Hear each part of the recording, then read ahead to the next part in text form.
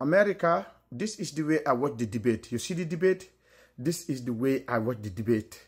Behind there, you guys know, I don't want to call his face. Uh, I don't want to see his face. This is my TV. I watch who I want to watch.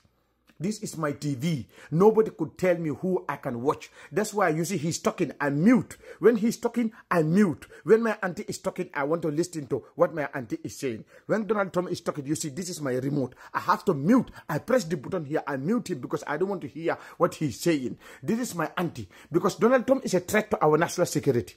Donald Trump is a liar. He is a rapist. Guess what? He is a silly sausage. Yo don't call him a cuss, Donald Trump. Yo don't call him a cuss. That's my auntie right there. She is the game changer, America. She is the game changer. America, I have a song for my auntie. My auntie Kamala, Auntie Kamala, I have a song for you. We need a young girl, we don't need old pa. We need a young girl, we don't need old pa. We need a young girl, we don't need old pa. We need a young girl, we don't need old pa. We need a young girl, we don't need old pa. We need a young girl, we don't need old pa. We need a young girl. Look at the game changer. She's the girl, man. Look at her.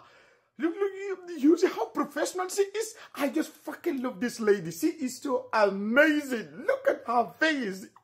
Nobody can compare Kamala and this idiot who is behind there. I mute this man. I don't want nothing to do with Donald Trump. Anybody who like Donald Trump, I don't like you. Look at his face. Oh my gosh.